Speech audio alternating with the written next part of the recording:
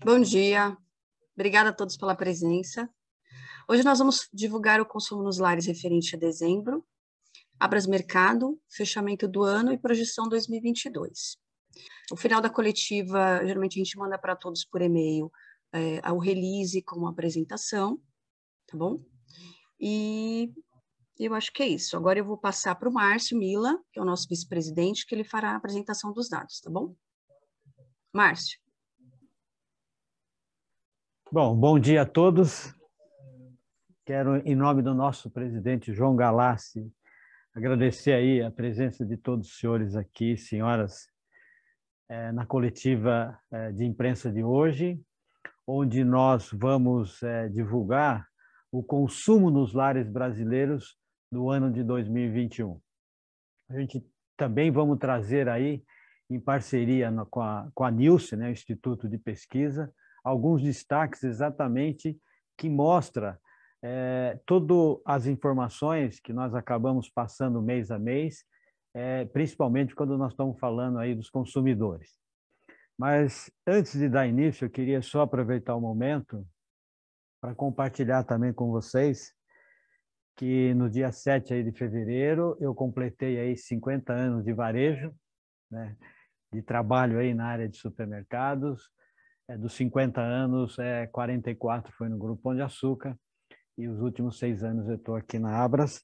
E para mim tem sido uma satisfação bastante grande, porque exatamente é um aprendizado, vamos dizer assim, no dia a dia, com a ajuda de todos vocês.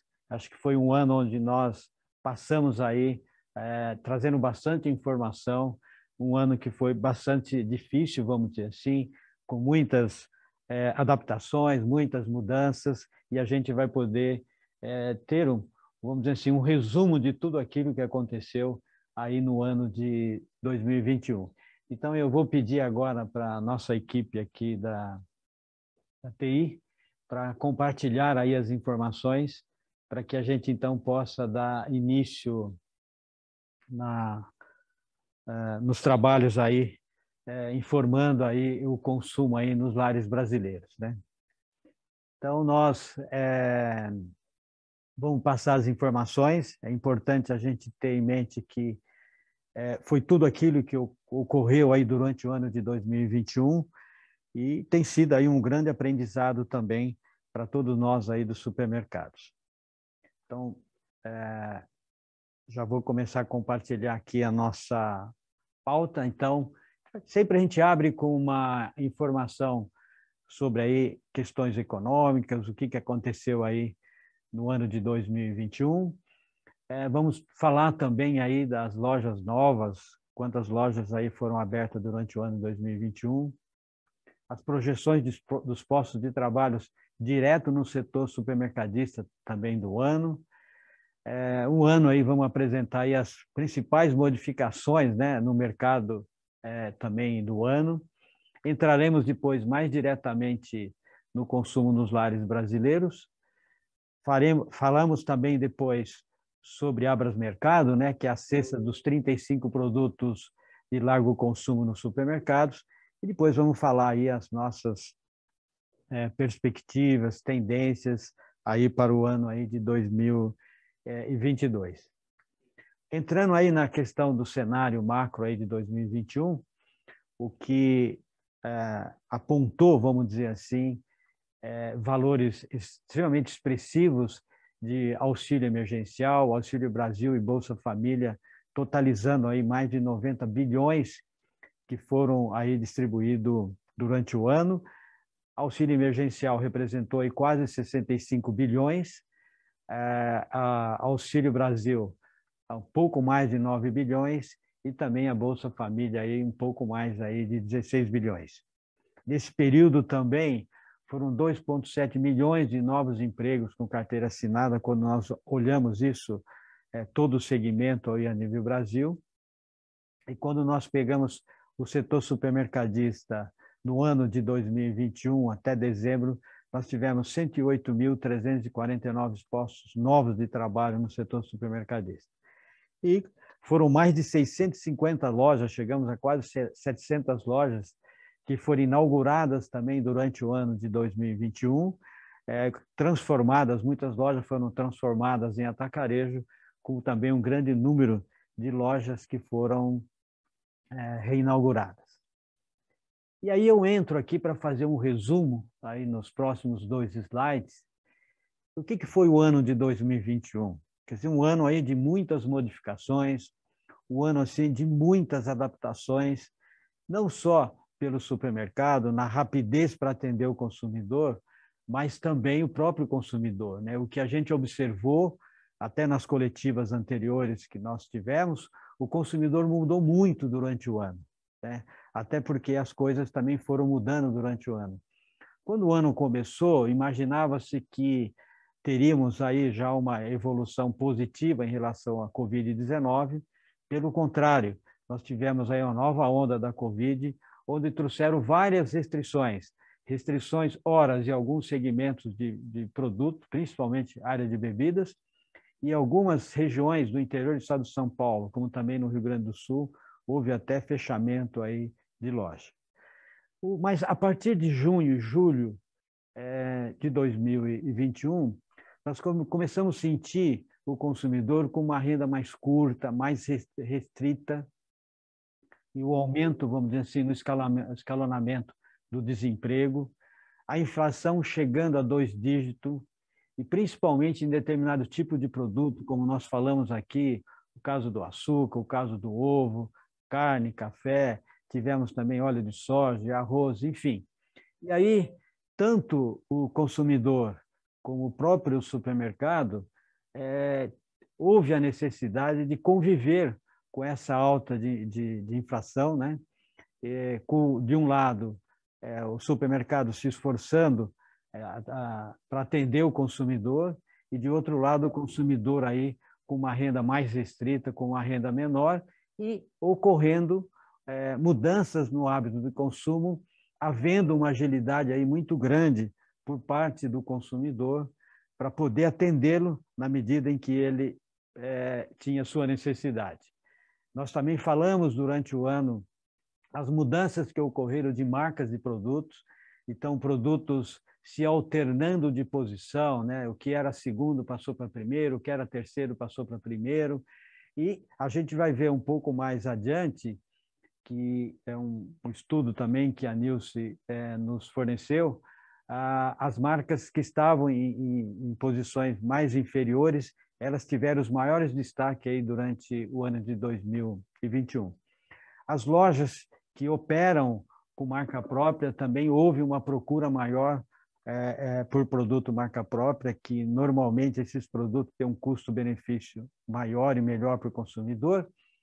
E o que nós observamos mais aí, é, depois de setembro, agosto, setembro, outubro, uma volta da concentração do consumidor na compra da primeira semana do mês. Isto muito motivado aí pela, pelo aumento da, da inflação a corrida, vamos dizer assim, dos consumidores em busca de ofertas e promoções, que foi uma das estratégias adotada pelo supermercado para manter o consumidor fiel à sua loja, né? E se observou também foi um consumidor mais seletivo, um consumidor escolhendo o que comprar muitas vezes, é, escolhendo aonde comprar e não só isso, e como comprar. Se vai à loja fazer a compra, se ele encomenda o produto e retira na loja, ou ele utiliza aí os meios do delivery, do e-commerce aí para atender às suas necessidades.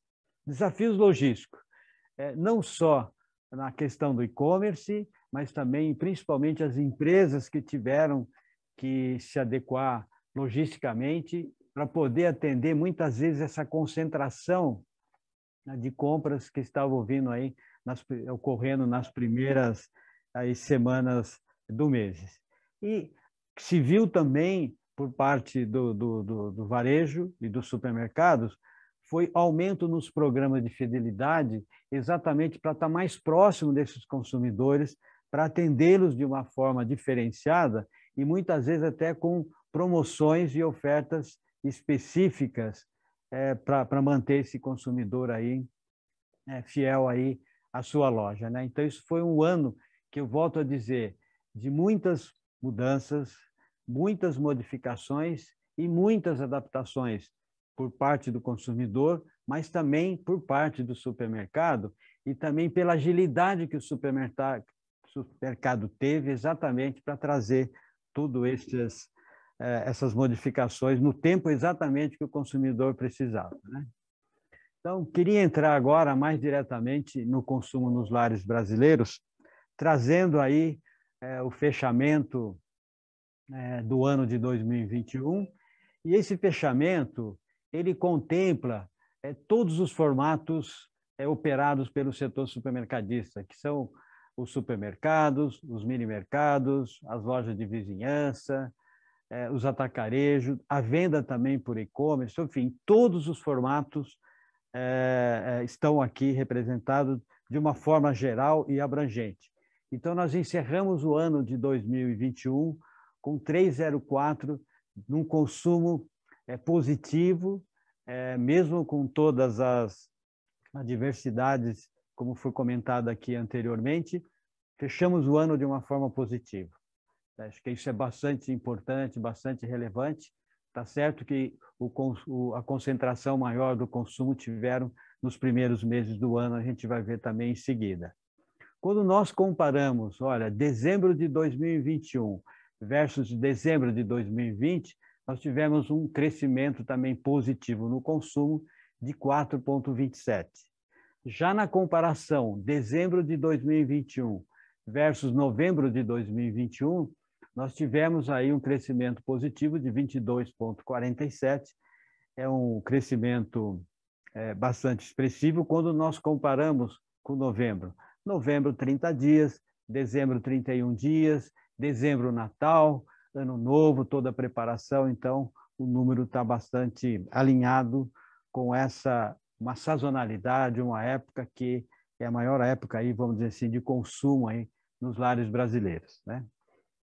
Mas queria voltar aqui para falar um pouquinho de como foi o comportamento não só do ano de 2021, mas como isso, é, como foi o, o final do ano de 2020 e como foram os primeiros três meses do ano de 2021.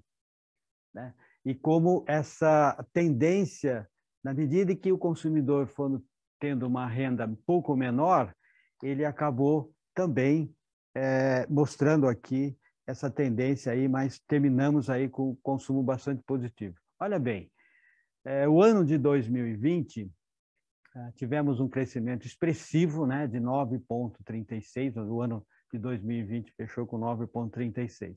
Em janeiro tivemos aí o grande pico aí no consumo aí que foi 12%. Depois, é, em fevereiro 7,57 e em março um pouquinho acima aí de 7%.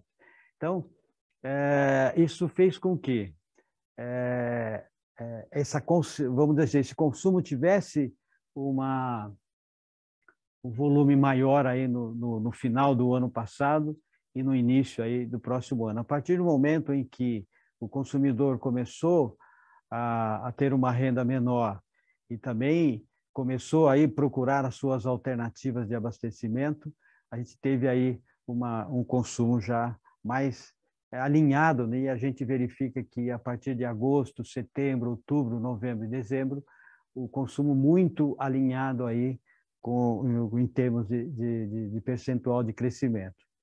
E dentro do, da nossa projeção para o ano de 2022, nós, é, a nossa projeção de crescimento é 2,8 positivo. A gente é, não pode deixar de analisar que é, nós estamos tendo um crescimento é, expressivo, considerado o, o, qual foi o crescimento de 2020 e o crescimento aí de 2021. Então, essas são as nossas projeções aí. Entrando agora na, na sexta Abras Mercado, que é os 35 produtos de largo consumo, antes disso nós vamos dar uma olhada aí no, nos indicadores. Né? Então, Abras Mercado, no mês ele teve um aumento de 0,39, quando a gente olha no ano, 10,32. O IPCA Alimentos, 0,84 no mês e no ano, 7,94. E o IPCA é, 0,73 e também é, no ano 10,06. 10 e aqui é o histórico né, da, da, da cesta Abras Mercado, dos 35 produtos, que vem de dezembro a dezembro. Então, nós estamos falando aqui de um período bastante extenso. Que a gente verifica já nos três últimos meses do ano, outubro, novembro e dezembro, já uma, vamos dizer assim, uma, uma quase que uma estabilidade. Então, em, nove... em outubro, nós tivemos uma cesta de R$ 700,04. Em novembro, teve um recuo de R$ 697,80. Em dezembro, aí voltou a 700 reais. Então, isto começa a dar uma sinalização aí é, de baixa é, aí para frente e a gente vai poder identificar isso também. Aqui, é, quando olhamos aí os produtos né, que fazem parte aí da cesta Abras Mercado, que tiveram aí as maiores altas, então a gente é, identificou aqui a cebola né, com 16,6, depois o café 6,7, e quando a gente olha o café no acumulado do ano, ele está é, quase 67%, e nós já sabemos exatamente o, o ocorrido, né, que foi as geadas, as secas, e, e, atualmente nós estamos vivendo em um outro momento, que são as enchentes, enfim.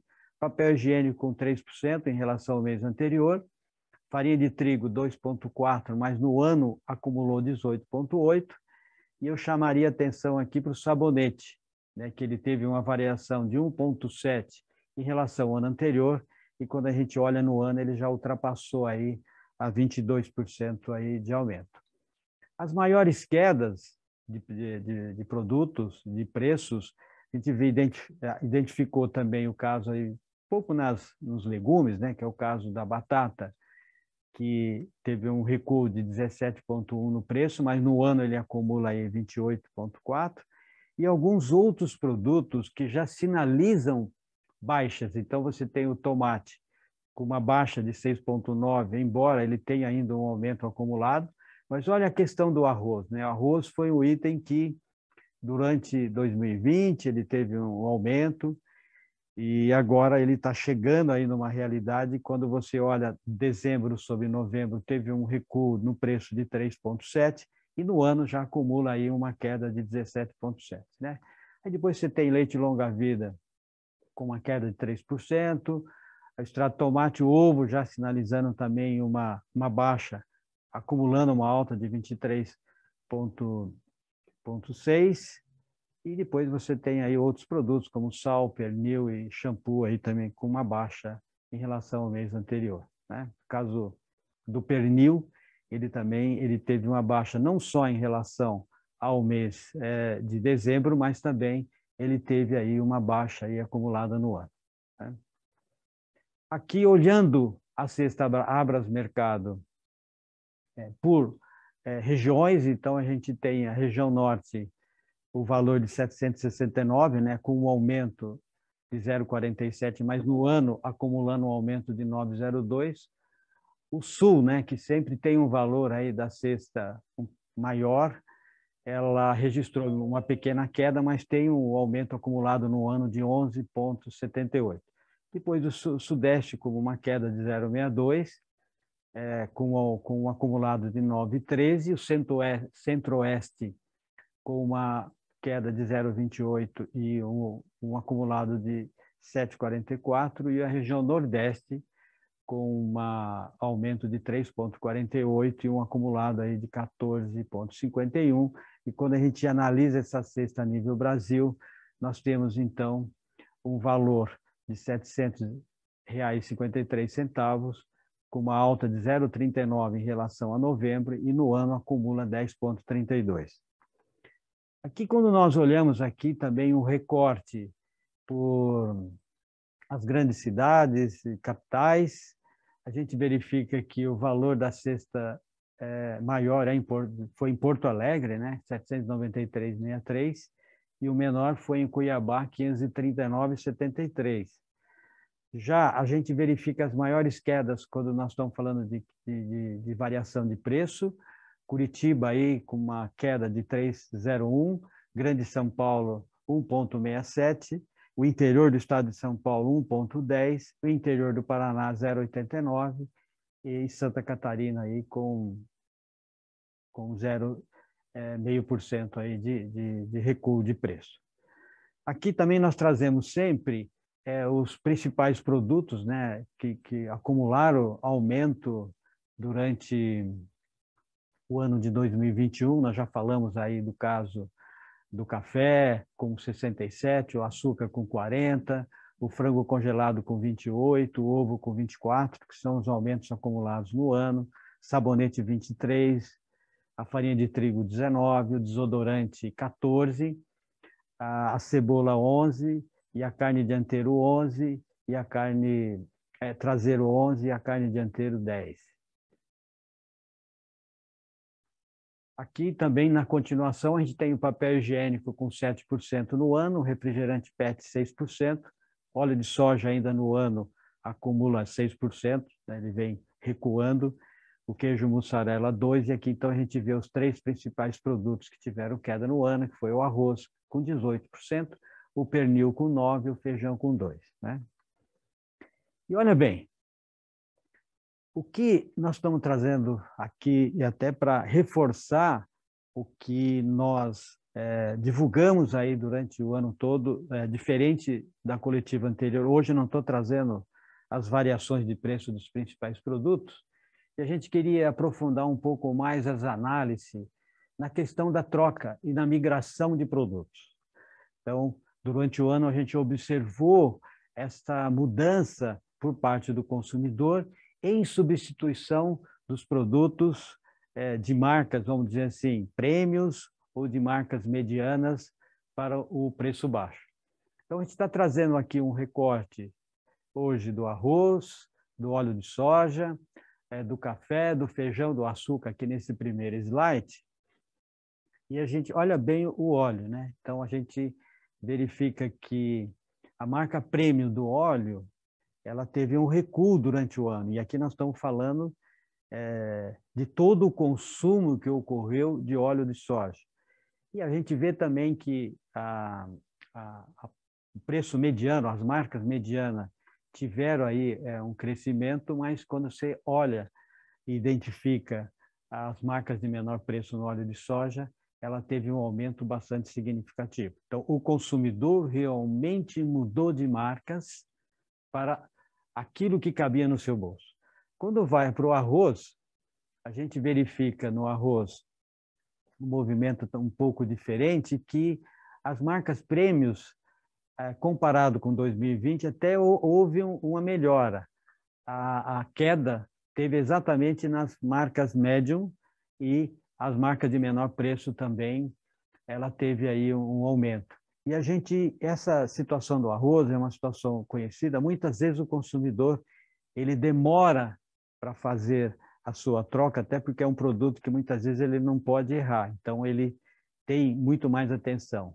No caso do café, a gente verifica também que as marcas prêmios é, teve um recuo, né, de 22.2 para 20.4, enquanto que as marcas é, médias também teve um pequeno ganho, né? Então, e, e as marcas de menor preço é, também teve uma, uma, participação. Olha aqui quando a gente olha o feijão, né? O feijão é algo assim um pouco mais regional. Então você tem o feijão é, preto consumido em algumas regiões, você tem o feijão as outras os outros tipos de feijão em outras regiões. Mas aqui teve uma, uma estabilidade, vamos dizer assim, na, na, no consumo, vamos dizer assim, do feijão. Houveram aí pouca migração. Já quando vai para o açúcar, a gente verifica também é, uma mudança né, na, na, na, troca de produto, né, principalmente na, nos, nos, produtos de menor valor. É, teve aí um aumento e, basicamente, é, as outras é, se mantiveram é, muito próximo uma queda também aí na, nas açúcares aí consideradas medianas, né? E aqui, até para finalizar esse, esse estudo é, e essa informação, nós trouxemos também informações com relação a bebidas, que a gente vai explicar, o leite, refrigerante, é, biscoito, né, bolacha, carne congelada, é, iogurte, papel higiênico e sabão em pó. vou passar aqui um pouco mais rápido nessas informações. O que, que a gente identificou aqui no caso, por exemplo, de cerveja? Cerveja, basicamente, é, em função até do consumo, né, principalmente até poucos meses atrás, está muito concentrado é, é, na, na, casa do consumidor, então ele passou a consumir é, mais cervejas prêmios, e aqui então mostra esse crescimento das marcas prêmios de 21 para 27. Basicamente, se teve estável as marcas de menor preço e também aí teve um recuo, né? quer dizer, o que era mediano passou para prêmio. Já o leite longa vida, é, o, o, HT, é, ele também teve estável, quer dizer, basicamente não houveram grandes mudanças é, é, de marca. Refrigerante também é uma categoria bem, né, que é a liderança está muito consolidada. Biscoito, houveram também uma poucas é, alterações, né? basicamente é, pouco, sai um, perde um pouquinho os, os produtos de, de, menor valor e, e, se distribui um pouco entre o mediano e o líder. Né? As carnes congeladas é, também houveram trocas, mas muito menores, né? Caiu um pouco aí a, a, as marcas medianas e subiu as marcas menores e também os líderes iogurte é basicamente a mesma coisa, né? Também poucas mudanças. No papel higiênico, nós tivemos já uma mudança um pouco mais significativas, né? Onde a gente vê, então, as duas recuos, tanto no mediano como nos, na, nos prêmios, e, e, e, os produtos de menor preço, ele acaba tendo uma, uma participação maior. O sabão em pó, basicamente, se manteve estável. Mas olha que interessante mais uma outra informação trazida pela Nilce. Acho que nós temos aqui dois gráficos que realmente ele consolida essa informação que nós passamos aí durante o ano. Primeiro, eu vou olhar o, gráfico aqui onde fala de quantidade de marcas que fazem 80% do consumo. Olha bem, a gente sabe que bebida, cerveja, 12 produtos, aliás, 12 marcas fazem 80% do consumo. O leite e o HT, 25 marcas fazem 80% do consumo. Refrigerante, três marcas conhecidas, que nós sabemos, fazem 80% do consumo. Bolacha, que é os biscoitos, 30 eh, produtos, 30 marcas fazem é, 80%, depois o óleo de soja 15%, óleo feijão, 90%, produto muito regional, né? marcas regionais, 94 marcas de produto para fazer 80% da venda, e o arroz, 101 marcas para fazer 80% aí do consumo. Né? Depois você tem o café com 18, o açúcar com 28 e as carnes congeladas com 6. Mas o que, que eu queria trazer aqui, realmente, para fechar esse raciocínio que, gente, que nós trouxemos ao longo do tempo, foi escolhido aqui é, exatamente para trazer essa cesta de produtos, que é cerveja, leite, refrigerante, bolacha, óleo, feijão, arroz, café, açúcar e carne congelada. O que a gente observa é, é, nesses produtos, principalmente os líderes aí, o primeiro, o segundo e o terceiro líder, o que a gente observou durante o ano é o primeiro passando para segundo, o segundo passando para primeiro, o terceiro é, indo para segundo e assim por diante. Mas eu vou pegar aqui o caso do arroz. Né? O arroz, as, as marcas líderes, basicamente, elas se mantiveram. Então, a primeira marca manteve, a segunda marca manteve, a terceira marca manteve, a quarta marca manteve. Aí eu fui para quinto. Esse dois que está aqui quer dizer o seguinte: o que hoje está em quinta é, marca, ou quinta posição, ele era sétimo, ele ganhou duas posições. O que está em sexta a, a, na liderança hoje, ele ganhou duas posições, ele era oito. Agora, eu vou olhar lá a parte verde. Então, o, a marca de arroz, que hoje ela está em 12 segundo lugar, ela era a marca de número 35.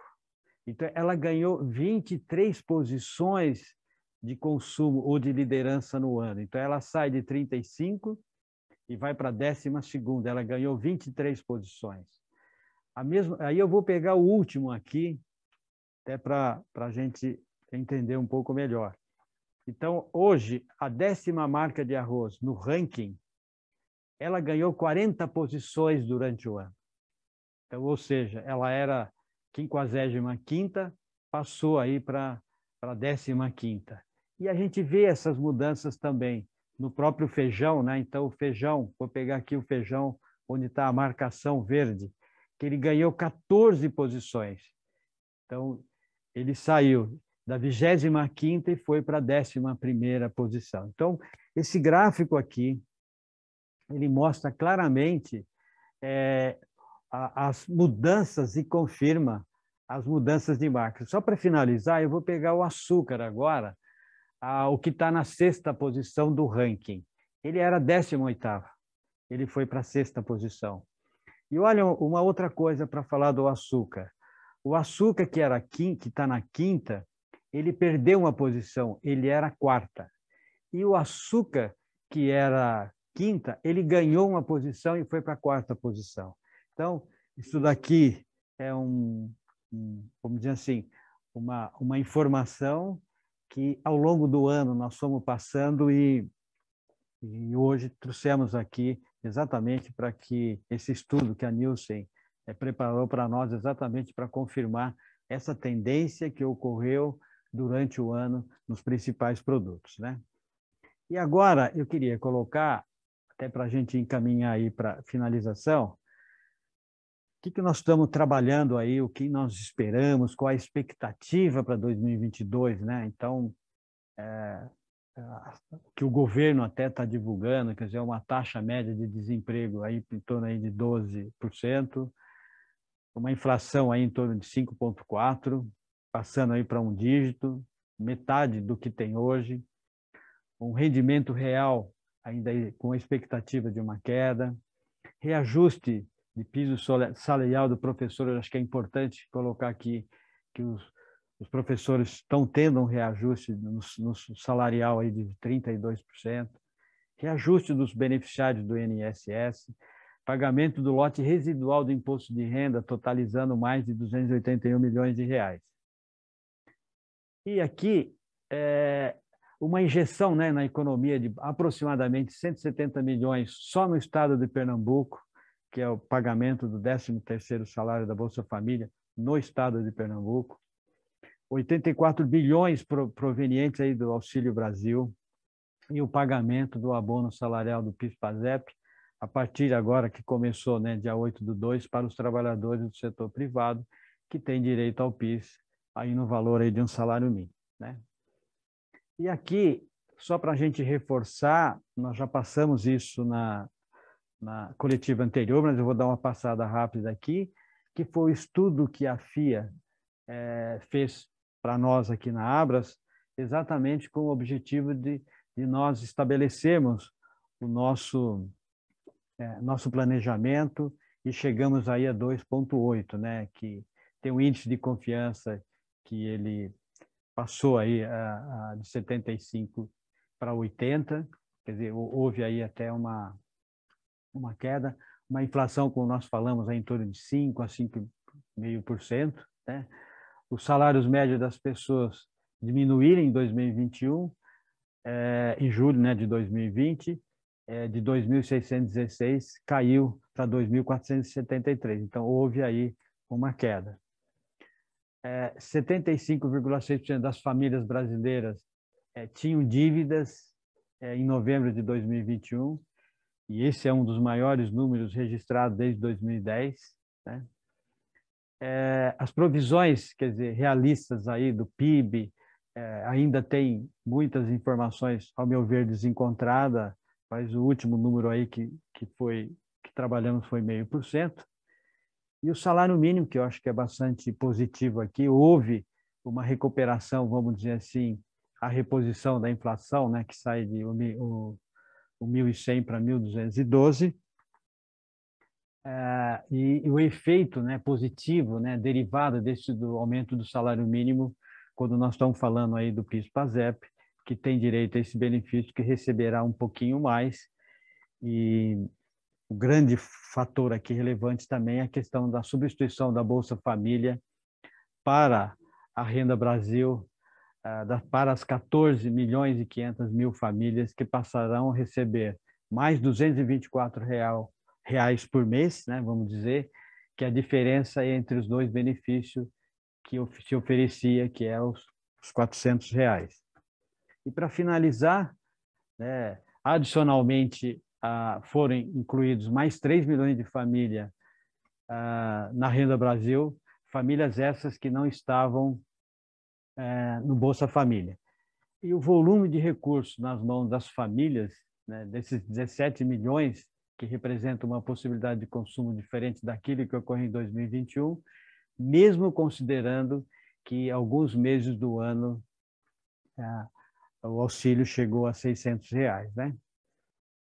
É, Estima-se que cerca de um milhão e meio de pessoas sairá da informalidade, diminuindo o número de desempregados aí de 13,5 milhões para 12 milhões, que passarão a ter emprego fixo, carteira assinada, e também podemos não deixar de mencionar que teremos eleições majoritárias em 2022 e isto vai se injetar na economia 5,7 bilhões, que de uma certa forma ou de outra, isso pode ser canalizado também para o consumo.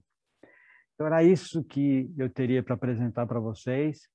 Eu, mais uma vez, quero agradecer em nome é, do presidente João Galasso, nosso presidente, é, a oportunidade de estar compartilhando essas informações e também agradecer aqui ao nosso Departamento de Economia e Pesquisa, na pessoa da Clarice, na pessoa da Edineide e também do Iago, eh, que prepararam essas informações para a gente. Então, eu sigo aqui agora, Elisângela, à disposição para que a gente possa atender aí alguma demanda eh, dos nossos colegas jornalistas. Acho que nós podemos finalizar então, Márcio. Bom, é, Elis, Elisângela, eu vou aqui mais uma vez agradecer a todos os colegas aqui é, que estão com a gente, que participaram, em nome do nosso aí presidente João Galassi, é, agradecer a todos vocês. acho que é muito importante a gente ter essa oportunidade de esclarecer, né, para não só aqui entre nós, mas também, principalmente para o consumidor, até porque nós estamos falando de uma média aí de 28 milhões de consumidores que frequentam aí os supermercados aí diariamente. Então, mais uma vez agradecer o tempo de vocês aqui, agradecer as perguntas, acho que foram bastante importantes a gente ter esse diálogo, né, e ter esses esclarecimentos. Então, mais Sim. uma vez, bom, bom dia a todos e obrigado. Obrigada, Márcia. Obrigada a todos. Bom dia.